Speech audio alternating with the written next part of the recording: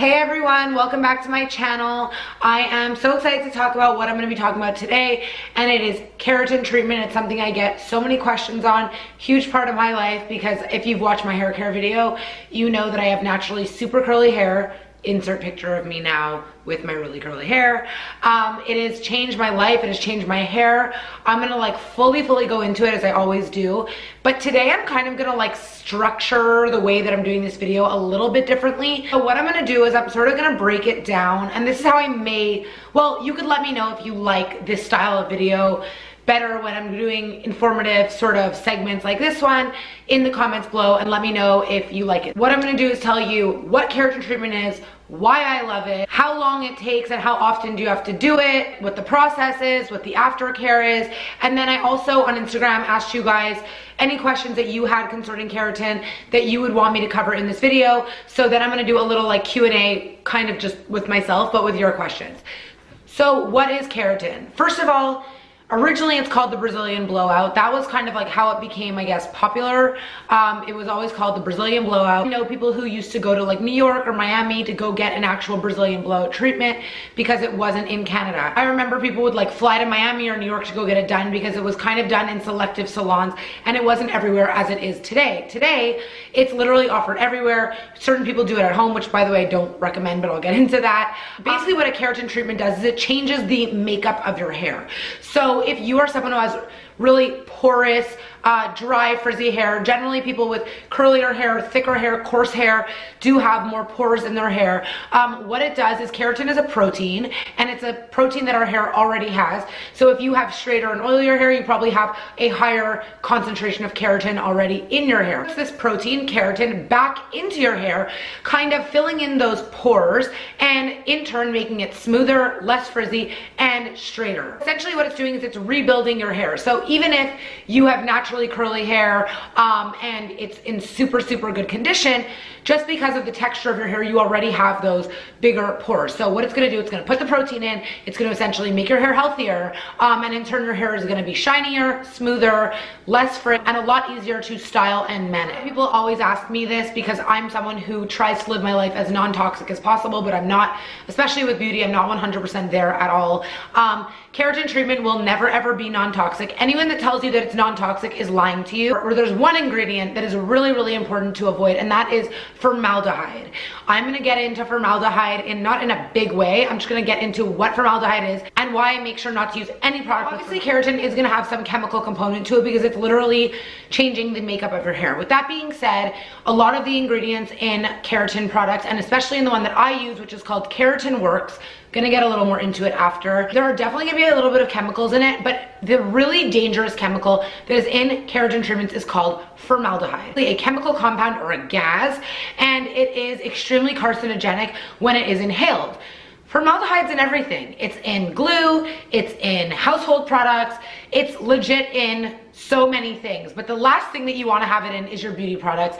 Furthermore, especially when you're doing a keratin treatment, because of the process, which you will see in this video, um, you are basically ironing the treatment into your hair. Fumes are released. You kind of have like, because it's product that smokes a bit, you are inhaling formaldehyde. It is so bad for you. Obviously, if you do it once in your lifetime, not gonna be the worst thing ever. But doing it repeatedly and repeatedly and consistently inhaling it is super, super dangerous and toxic. And I am, I'm telling you now, this is like the most important part of the video. You need to make sure that you're using a product that is formaldehyde free. I am gonna link the product that I use. It's a company called Keratin Works. Best keratin solution I've ever used that is formaldehyde free. And I will link it below. It is not something that you if you're not a hairdresser, you're not gonna be able to do it at home. You have to tell your hairdresser to order this product to use on you because you should not, like no one can kind of administer their own keratin treatment. You're gonna damage your hair and I don't suggest that. Okay, so this is the product that I use on my hair. We've been using this for over a year. It's by a company called Keratin Works. Um, it is a formaldehyde-free treatment. It's also adding in the protein that your hair already has to make it straighter and more manageable. On the topic on the topic of formaldehyde, um, so when I first started doing keratin treatments, there was formaldehyde in it. Formaldehyde is definitely going to make your hair a lot straighter. Um, it's a serious chemical, so you know, the keratin that I do does not have formaldehyde in it, but, and so my hair will not become stick straight. If you go back and you think about Japanese straighteners, a lot of formaldehyde in it. Formaldehyde and these types of chemicals are really, really going to end up actually damaging your hair.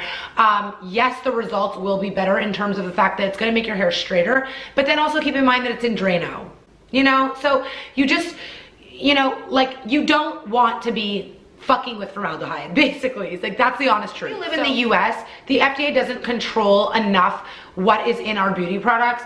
Um, in Canada, it's a little bit different. Formaldehyde in beauty products is illegal. It's illegal in hair products because it is a cancer-causing agent, basically. So um, in Canada, you kind of don't really need to worry, but different ways that uh, companies can get formaldehyde in because they can put other chemicals in that when heated basically end up turning into formaldehyde. So I'm not gonna get too scientific with it. I would just recommend that if you've never done a keratin or if you do do keratin and you're a fan of it, please check out the link in the description for the keratin that I use because I can guarantee you 100%, I've spoken to the owner in my due diligence, this product is 100% formaldehyde free and it actually works. It's even okay for pregnant women or nursing women.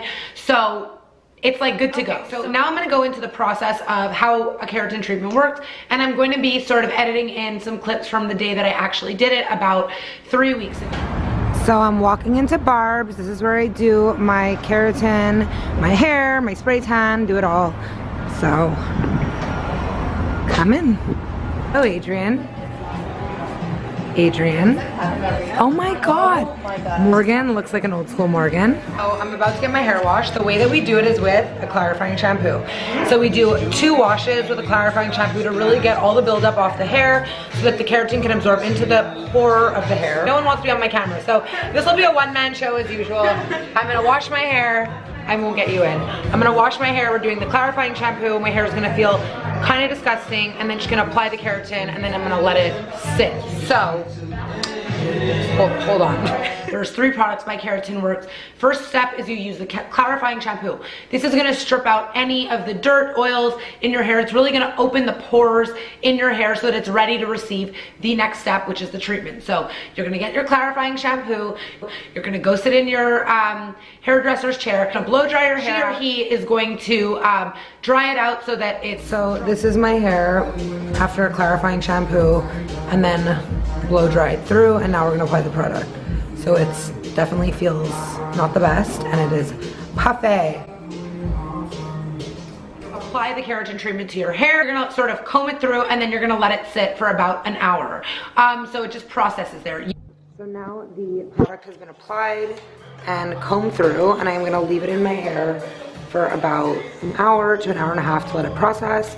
I'm actually gonna go have lunch. Usually people will stay at the salon. I like to leave and get things done. You can either bring a book with you, bring some work with you, um, on your phone, watch this YouTube video, do whatever you want. Um, but I generally schedule myself so I, any errands that I have around the area for that hour, I'll either like go pick up lunch, um, go run a few errands, do what I gotta do, and then I'll come I put my hair into like a tight little bun, going for lunch with my sisters to waste the hour instead of just sitting there um, usually I'd run errands, I'd ship things out, do what I gotta do, and then I'm gonna go and do the ironing. When you come back after that hour or once the hour is finished. Okay guys, so I am back at the hair salon. We have a blow dry going down over here. And I have had this processing in my hair for about an hour.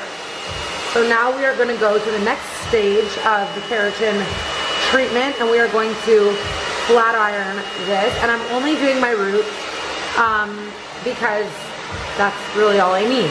Everything else is still pretty keratin. It's really just the, the new regrowth of hair. And basically, the way that we do it anyway is that we blow dry my hair um, and then she uses a straight iron and she goes one, two, three, four, five, bam, one, two, three, four, five. So I think, or, or is it 10 times? basically process it and go over it with the straightening iron about 10 times. Really seal in the product and the treatment into the hair.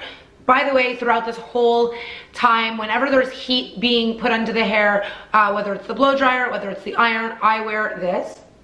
I've added it to my Amazon page and I've linked it in the description on this video. Something that my friend Lauren LBMTL who does my spray tan gave me. She wears it when she does a lot of spray tans. It's called a Virus Shield. You can breathe through it, but it blocks out all the toxins. So even though, like I said, I don't use a product with formaldehyde, I'm just doing my extra due diligence to not inhale any extra toxins if I don't have to optional, but it's definitely always better to be safe than it's ironed into the hair. Your hair is gonna kind of feel a little bit sort of, what would be the right word for this? Waxy. Okay, so I am done my keratin treatment. This is what you walk out sort of looking like. If you feel it, it kind of has like a, I don't know, a texture to it. Um, but it does not look terrible and you now leave it on for 24 hours. It's gonna feel like you have a coating on it and a wax on it. I'm gonna give you a little like, a little PSA or attention to this. You're going on a first date or you're seeing a guy who you have not been dating for a long time um, and you think he may go and touch your hair don't go on a date that night because your hair ain't gonna feel good. It might have a little bit of a smell to it and he's gonna kind of be like, what the fuck's wrong with this girl's hair? If you're seeing someone new, avoid them that night. Just steer clear of it because your hair is definitely gonna be waxy. I actually, like in the beginning of my relationship with Chris, would try hard to like schedule my keratins when he would be out of town because we lived together quite early in the relationship and we were comfortable, but I also was like, oh my God, I feel bad for has to like smell this because it's not a terrible smell, but there's a little bit of a smell to like you really only have to leave it in for 24 hours. Keratin Works actually, you could even wash it out immediately. I like to leave mine in. Keratin works the way that it works, this product is that once it's been ironed into the hair, it's there, it's processed. I personally leave it in for the extra 24 hours. I'm just back in the day when I started doing keratins, it used to be 72 hours. So for me, it's like, no, no, I need to like sleep with it and leave it in. Um, you leave it in for 24 hours and then you go back to the hairdresser the next day and you get it washed out properly. Um, and then they'll follow through with the Keratin Works treatment, which is gonna lock everything in and make your hair super shiny. Okay, so now I've kind of walked you through the process of what it is. I showed you a little bit of me doing it so that you can understand. Now I wanna go over how long it lasts and how long the whole process takes. So the whole process is I would say is about three hours. So you really need to schedule yourself properly. The time that you shampoo to get the actual product in your hair usually takes around an hour. Then you process for an hour and then for the time that they blow dry it back and then iron it in is about another hour. So the whole thing is around three hours. How long do you have to wait to redo it? So it depends on your hair. So for me, I don't redo my whole head of hair. The keratin stays active in your hair. Um, I redo my regrowth. So I personally need to do my hair every three months because my hair grows out. So I'll generally do the root of my hair. So when she's passing with the iron, she'll do about 10 passes at the root and then just one through the rest of my hair because there is product that goes into the rest of the hair. The important part is really the root that is freshly grown out hair um, that needs to kind of match the rest of the hair. So I do mine every three months. I know people who could do it every five to six months. The truth is, is that if you're getting a product that doesn't have formaldehyde, it will make you need to do it a little bit more. If you've ever done it with formaldehyde in it and with more chemicals, generally you can get away with doing it twice a year um, because it really, really does straighten the hair when it has that formaldehyde in it. I think we don't want that, so you may end up having to do it three times. And now I just wanna quickly talk about why I love it and what the benefits for me have really been. Number one, it's changed my life. I never in my life thought that I'd be able to like jump into an ocean, jump into a pool, go on vacation, have this like beachy hair. I've always had super curly frizzy hair. Um, it was always an issue for me. It has been life changing for me. Being able to take a shower and not have to get my hair blow dried if I don't want to and still have manageable sort of straightish hair is awesome for me. So that's the first thing. The second thing is that it takes about a quarter of the time to style my hair. The fact that I can get a blow dry and a style in under 30 minutes is insane because in the past it used to take over an hour and I used to get at old salons I would go to get charged double for my hair because I have so much and it was so curly. You're also reducing the amount of heat and styling time onto your hair, which in turn makes your hair obviously healthier. It makes my hair really, really smooth and shiny. Um, if you look at my hair right now, this is about what, like, I'm, I'm not gonna lie, it's kind of gross, but this is about six days in without a wash and my hair is super smooth, super shiny, looks really, really good, no frizz to it. Um, and that's all thank you to the keratin because I naturally have extremely frizzy curly hair. Say to me, how do you work out and not ruin your hair? Like this hair right now is like five workouts in. Uh, listen, don't judge me. And it's not healthy for you to wash your hair too much, but people always say to me like, how do you work out so much and keep your hair looking nice? Well, keratin. Like the reality is, is that even if you just take a blow dryer after um, a workout, if your hair is a little bit wet, you just kind of go like this and it will just go back nice and straight and it really smooths out the hair. So keratin, if you work out a lot, is actually very, very helpful to keeping your hair looking really nice and fresh. Another thing that I love about it is that it makes my hair healthy and it makes it grow faster. Um, Keratin is a protein like I told you. So in general, it actually is like getting an amazing treatment for your hair. In the past, I've used, I, I've used a lot of bad product, which is why I'm so adamant about you guys looking into the Keratin Works product because it is the first product. We've been using it for over a year now. Um, it's the first product that has actually made my hair straighter, um, smoother, less frizzy, which a lot of keratins can offer you, but not just that, it's helped the actual texture um, and health of my hair, and it really makes my hair grow. You know, I, am sure there's other products on the market that are good, but I've never found something that actually works as well as this, and that I've been so impressed with. So um, I definitely, definitely urge you guys to look into the product if you're gonna be Okay, so I wanted to just show you guys um, my hair post keratin treatment. I washed it this morning. I allowed it to air dry. I put in a little bit of product. You saw sort of like my before picture and what my natural hair looks like. So this is completely air dried. I haven't really touched it. I didn't blow dry, I didn't do anything. I still have my natural curl in the center. As you can see, my roots are gonna be a little bit straighter because that's really where I did the keratin. Um, but I don't want it stick straight. I like having a little bit of this beachy wave. And then as I sleep with it, Tonight, it will sort of straighten out when I make it into its ponytail. So that is my air dried hair, one day post And also, as you can see, just along my roots, everything is, there's still a little bit of a curl, but it's a lot more relaxed. And if I was to blow dry it, it would just instantly blow dry and go straight fast. Okay, so I feel like I've covered a lot of the topics. Now I just wanna get into aftercare. So you've gotten your keratin treatment, you're loving it, your hair is super easy to style and manage and etc. There is a little bit of aftercare um, situation. So number one, you wanna be getting a shampoo that is sulfate free. Of the shampoo from the company called Acure. I've been using that recently. In the past, I would also use Boo Bamboo Organic. So generally with my shampoos, I will either use the Keratin Works one or I will use one that's like from, from one that I can get like at a natural store that's sulfate free, paraben free, mineral oil free, um, because those sulfates are really gonna end up wearing down uh, the keratin. And you really wanna keep it lasting as long as possible. Make sure that you're using sulfate free shampoo. You don't need to worry too much about the treatment and conditioner. You really need to worry more about the shampoo because that's the thing, cleaning out the pores of your hair and you don't want it to diminish the effects of the keratin too quickly. Second thing that you wanna be really aware of, and this is something that me and my hairdresser Steph from Barb's like not argue over is straightening irons. Sometimes I like my hair stick straight and I want to style it that way. Um, she hates using an iron on me for the most part, when you get the keratin, you don't need an iron. It kind of takes the iron situation out of the equation because it really already smooths your hair and makes it like so manageable. But if you really are looking to get that like super, super stick straight hair, you want to use a straightening iron. Straightening irons really do diminish the effect of the keratin treatment. So you want to just avoid using too many hot styling, coloring your hair with keratin. So this is something that I've in the past had my hair colored and I've done keratins um, and I know a lot of people it's like a concern for them. Everyone's always like do I do the color before or do I do the color after? Do your color after. I urge you to do your color after because when you do the keratin it does strip away a little bit of the color. It can kind of like when the actual um, product is in the hair it almost makes your hair can sometimes look a little bit orange or lighter. So once you wash out it generally goes back to normal but you definitely especially if you're blonde um, you really really want to just do your color after your keratin. So book your keratin then book your color like a week later. I would not do the color first because you may end up risking um, damaging it. So point, save your money and just do your color after cutting your hair. Um, would you cut your hair before or after? I generally like if you're gonna do a big cut, like you're gonna cut off like a few inches of hair, do it before because why would you apply all this product and go through that whole process if you're just gonna cut it off. If it's just a little trim, I would actually do it after the keratin. Um, sometimes Sometimes you'll end up having to trim less. It makes your hair really healthy. So um, if you're doing a big cut, do it before. If you're doing a little trim. I really feel like I covered everything, but what I did was I asked on Instagram, what do you guys want? Any questions that you guys have um, to ask me. So I wrote them down here and I will ask them to myself and then answer them myself.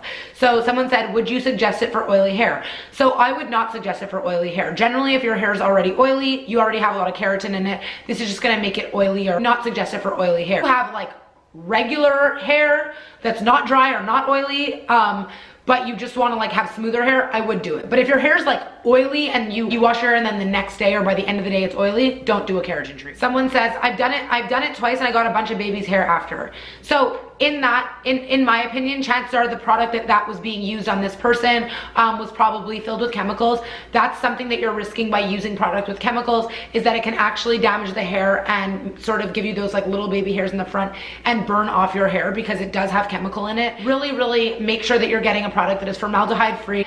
The Keratin Works is the best product I've ever used. Again, it's in the description on this video. You can tell your hairdresser to get it or to look into it, but it is the best one I've ever used and I've never had a baby hair issue. And let me tell you, I had a lot of issues with cowlicks like here back in the day and I really really do think that a lot of it had to do with keratin treatment. So someone's saying keratin treatment versus Brazilian blowout. Same thing, different name. Keratin treatment is a Brazilian blowout. It's just been completely rebranded, remodified since the Brazilian blowout was just the original. How does the treatment react to salt water on vacation?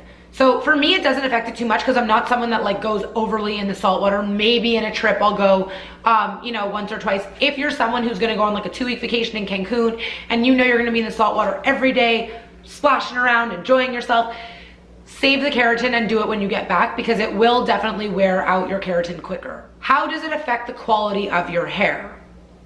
Like, will it make it thinner? Will it make it thicker? For me, um, again, by using Keratin Works, by using the right good product, it has only made my hair thicker, healthier, um, my hair doesn't fall out. It is amazing. If you use a product that does have more chemical, that isn't the best quality ingredient, you lose hair, which in turn will make your hair thinner. So again, I urge you to look into the Keratin Works product. Um, Reason being is that it's the only one for me that's really, really worked so well over five times with the Keratin Works treatment. And I really wanted to see like after like a full, full year of doing just Keratin Works, like what's happened. And my hair has only grown and gotten thicker and better. So I'm a testimonial, like I'm a living testimonial, best product I've used. And then someone also asked, will I lose hair? So again, it all depends on what product you're using. It's like anything else. Like you could use a serum um, a vitamin C serum that's like completely unstable and it just has, has a lot of chemical in it and it can make you break out and make your skin terrible. Or you could use a vitamin C serum that has excellent ingredients that is gonna make your skin glow and amazing and all about the product that you're using. Um, this is something that I would not do on yourself. Do not go to someone like someone who is not a hairdresser or a stylist that has experience and do this.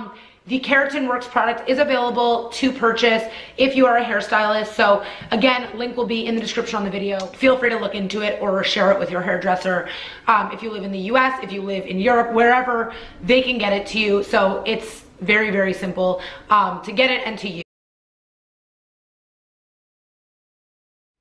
By the way, something that I wanted to mention in the video and I didn't is men can do it too. I know a lot of guys that do it. A lot of guys who have curly or coarse hair do keratin treatments on their hair, even if it's short, and it just makes their hair so much more manageable. So it's not just a female thing, it's for men too, um, which is great. So if you ever wanna have like a like couples date where you, your hair is both really waxy and kind of smells, get a keratin treatment. Anyways, thank you guys for watching this video. Um, let me know if you actually like the way I did this, or I kind of like broke it down. Um, I'm gonna try to put in the description like the times where I talk about different things. Want to go back and reference it, you can. Um, I hope it was informative to you. Thanks a lot for watching. If you like this video, give it a thumbs up. Any comments or questions, leave them below. And do not forget to subscribe to my channel. I will see you guys next week.